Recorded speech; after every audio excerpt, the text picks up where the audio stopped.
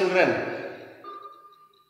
Today we are going to discuss about the processing of fibers into wool. We know that the wool fibers, the wool we are getting from the fleece of wool yielding animal. Wool is actually a finished product and which is ready to use product and that can be used for knitting sweaters, socks or weaving into different fabrics. So before we are getting the finished product we wool, before we are getting the finished product wool, there are several steps which are involved to get the fine product called wool. So in this particular class, in the process of pro- uh, processing, in the processing of wool, there are different steps involved. So we are going to see the different steps involved in the processing of wool. Before going to each step, first I will list out which are the different steps involved in the processing of wool.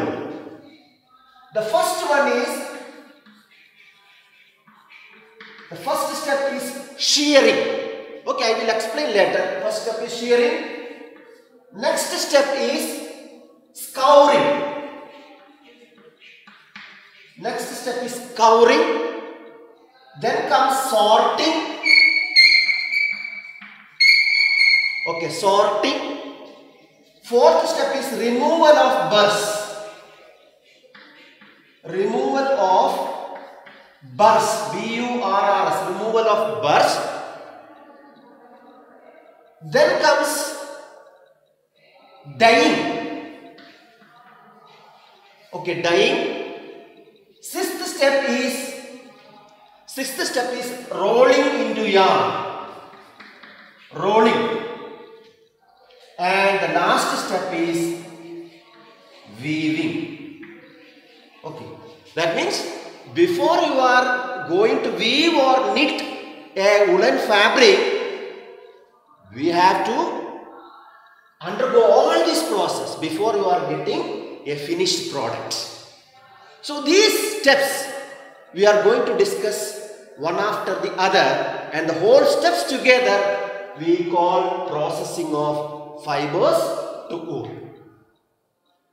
Okay, which are the different steps?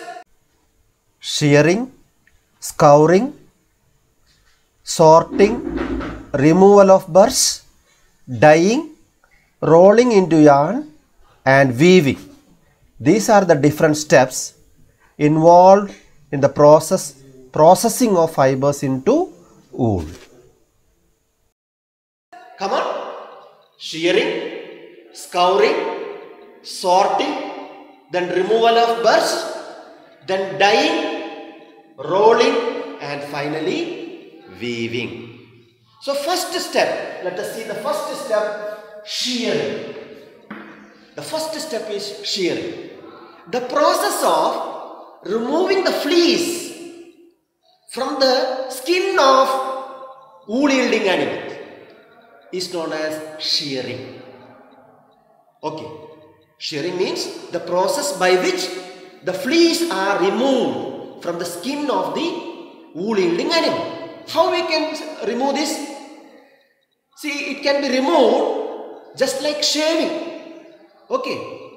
Just like shaving, a shaving machine or a shaving blade can be used to remove the fleece.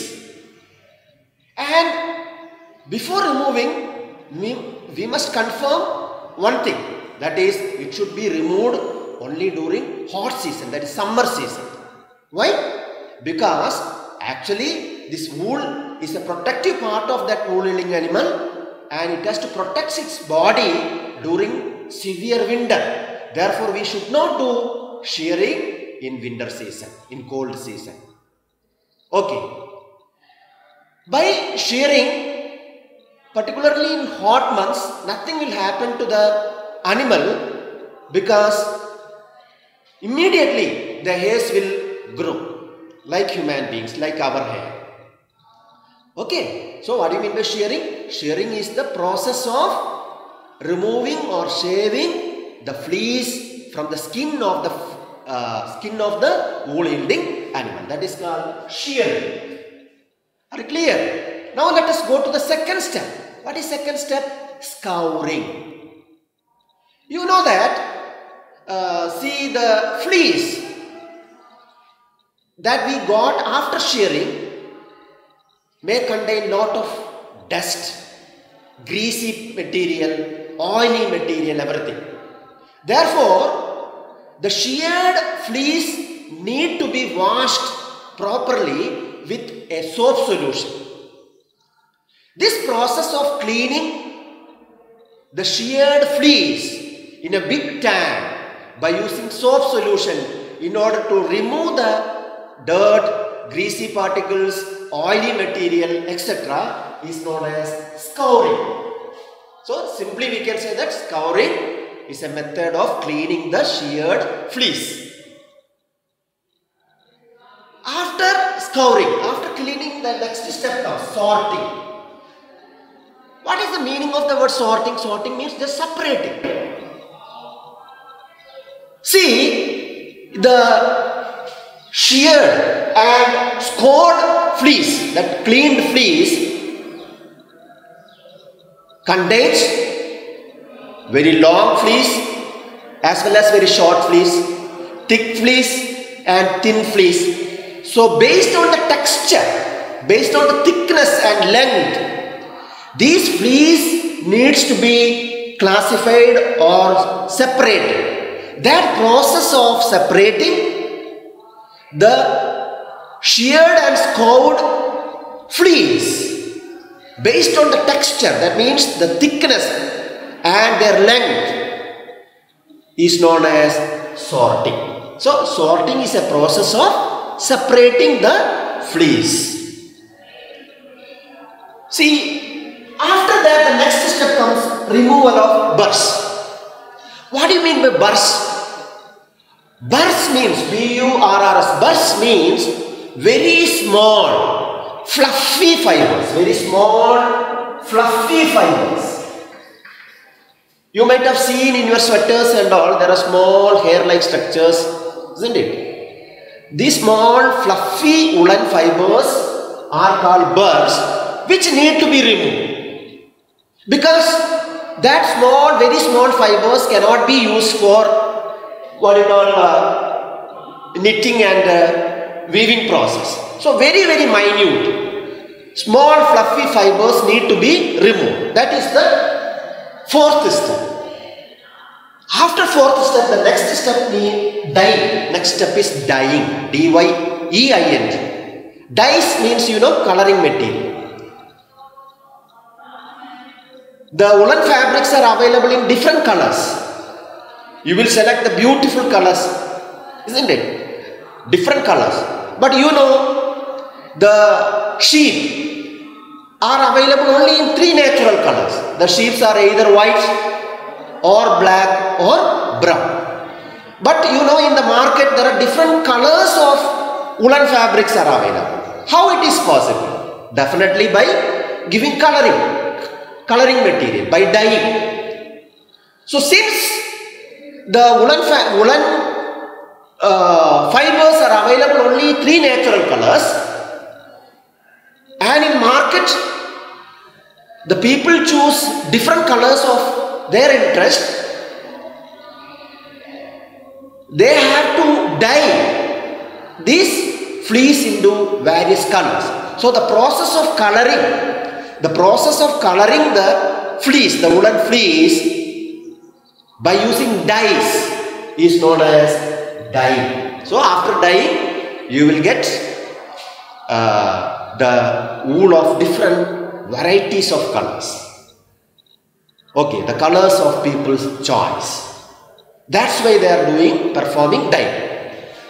After dyeing, the next step is rolling. We can imagine the size of the fleece of a sheep, isn't it? It ma- maximum uh, what you call uh, one arm length maybe. But the woolen clothes, the woolen, uh, you know, the woolen blankets or woolen fabrics are very lengthy. So, in order to get such a lengthy fabric, these wool fibers need to be joined together to make a long yarn. Okay, very long yarn need to be made in order to weave different types of woolen fabrics. Therefore, the process of joining the woolen fibers in order to get very lengthy yarn is known as rolling. That is called rolling. So, rolling is a process of changing the woolen fibers into woolen yarns. Yarn means very long fibers. Okay. And the last step is weaving. Now you got very beautifully colored, neatly cleaned, sorted, very long yarns. And these yarns are woven into different types of fabrics, different designs of fabrics by a process called weaving. After weaving, now the wool woolen fabrics are ready for use. Okay, so these entire steps, these seven steps, together known as the processing of wool. Which are the seven steps? Shearing, scouring, sorting, next removal of burrs, then dyeing, then comes rolling, and lastly weaving. Okay. These are the different steps involved in the processing of woolen fibers into woolen cloths or wool. Are you clear? Okay.